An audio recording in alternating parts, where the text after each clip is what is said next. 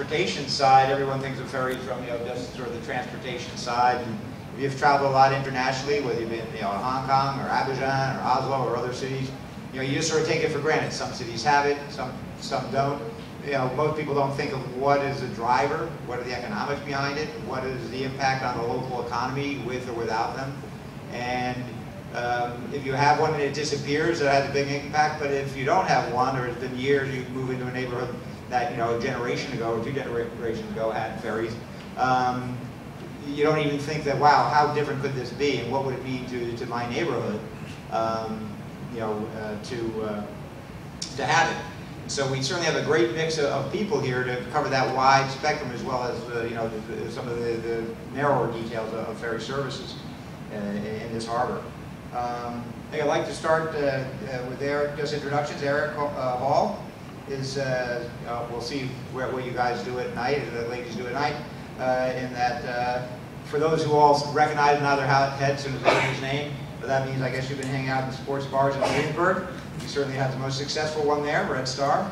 Um, they've been rated that by in in uh, Time Out New York, New York Magazine, and Daily News, to mention a few sources, and uh, certainly an advocate for water, waterfront revitalization.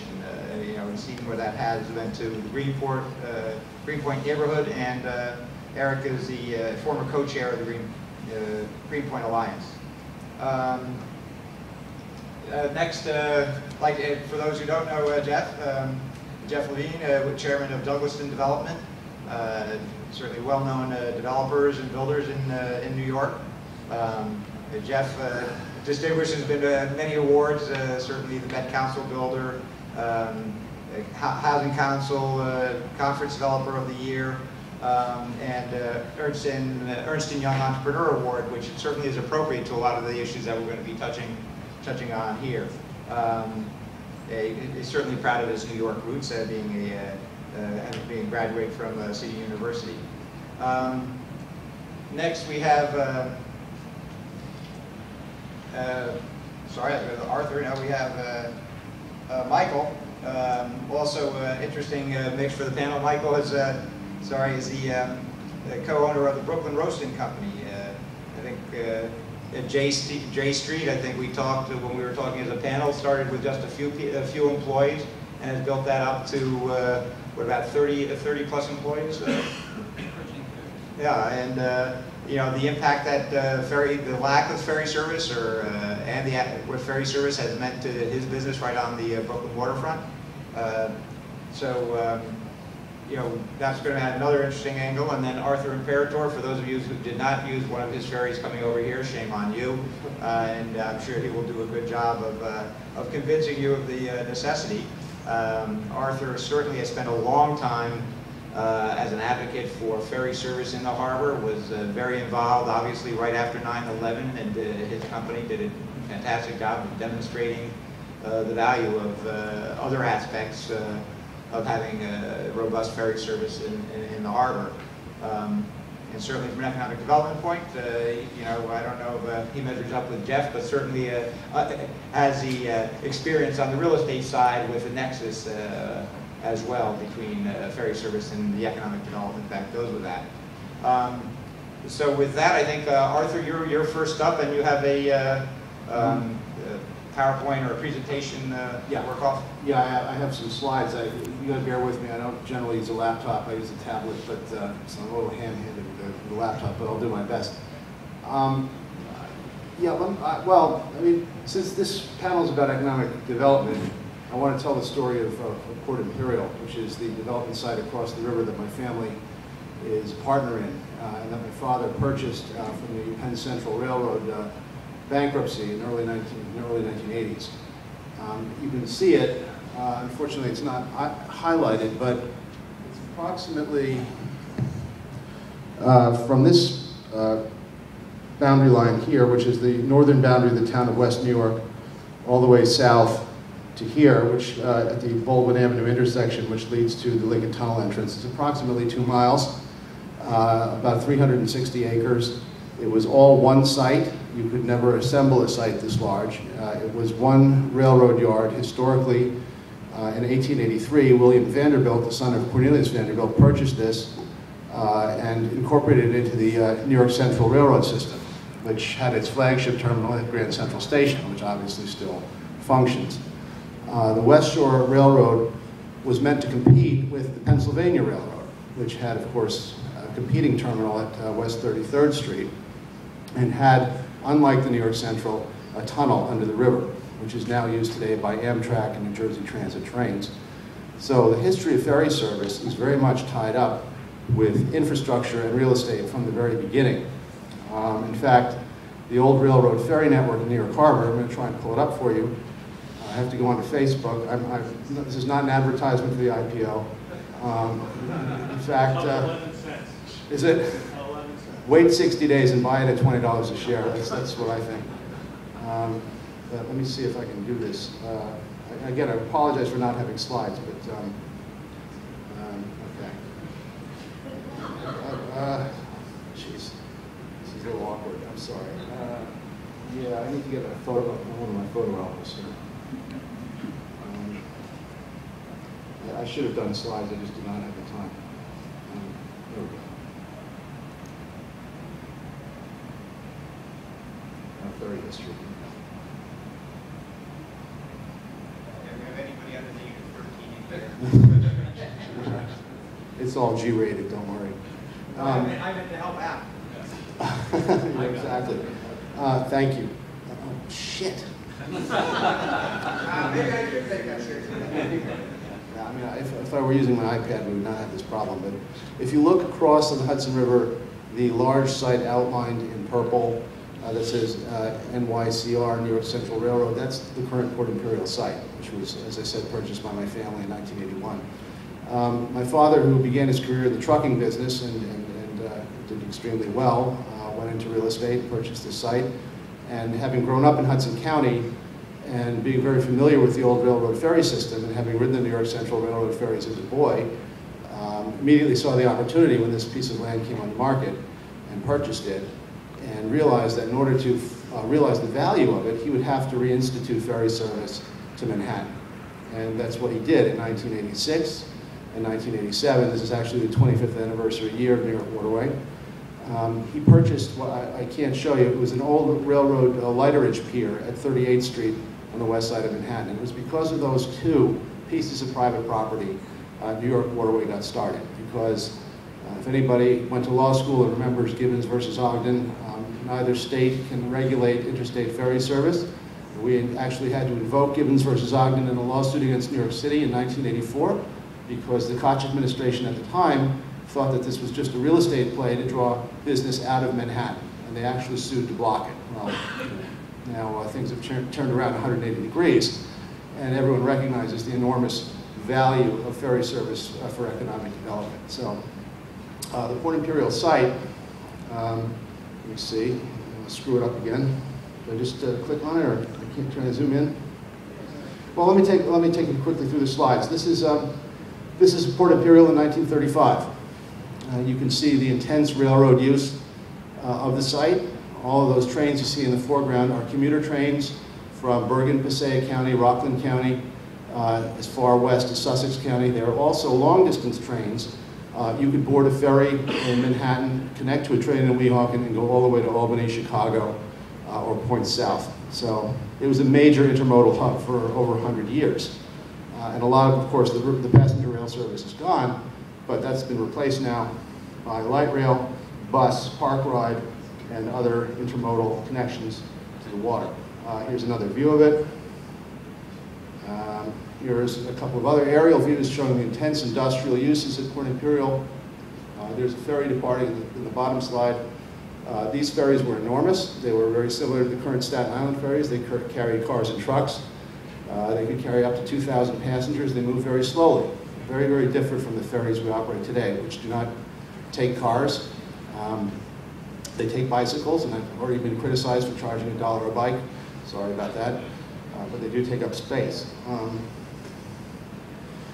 here's an interesting slide. This is an intermodal connection. This uh, uh, is a trolley that is going down from the top of, uh, of, um, of Boulevard East down the uh, uh, Palisades towards the Weehawken Ferry.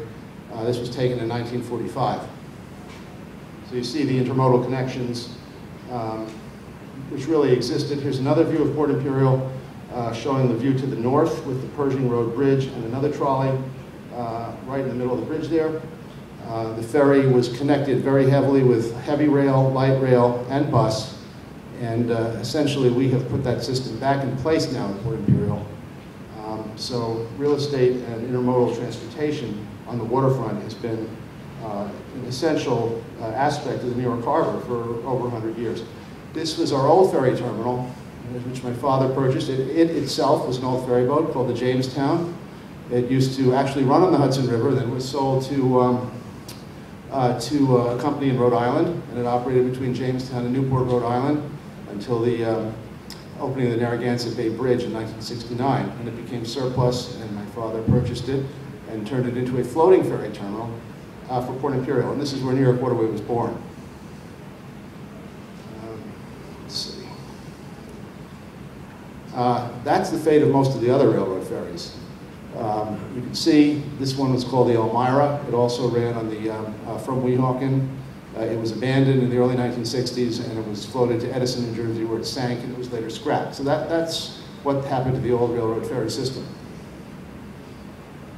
Here, and again, this was a ferry that ran from the town of Edgewater uh, across uh, the river to 125th Street, where passengers would connect, uh, would walk actually, to the IRT subway at 125th Street and transfer.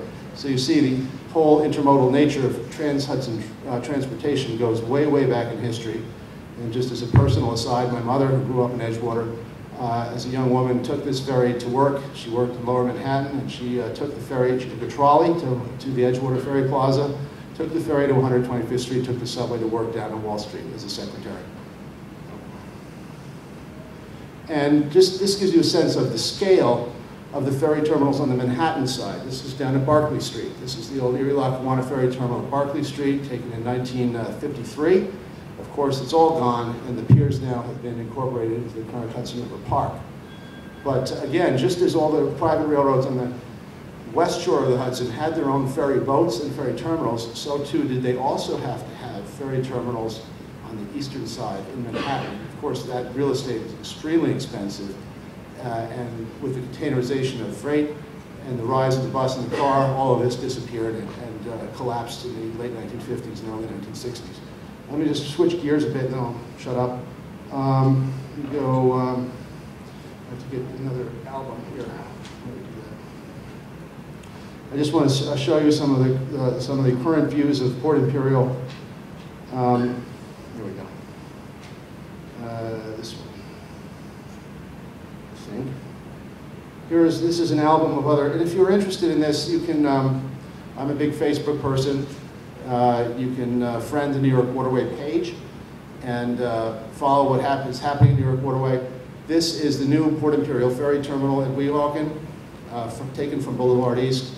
Uh, this was my project. It took me nine years to build in tandem with the 39th Street Terminal uh, in Manhattan, uh, working with uh, different uh, levels of government in different states. And of course, in New York City, uh, I mean, in New York, you have two sovereigns, you have the city and the state, so that was a real tooth puller. Um, but we got it done because people early on recognized the importance of investing in ferry infrastructure. And um, I Jordan Gruzen from Gruzen Samton is in the audience, and uh, he designed this terminal. It's an award-winning design, and uh, I had a great uh, deal of fun working with Jordan and his team, and we came up with a truly spectacular building that is now really uh, the western anchor of a new bridge across the Hudson River, and is going to be filled, uh, going to be served increasingly by, uh, here's another black and white view of it.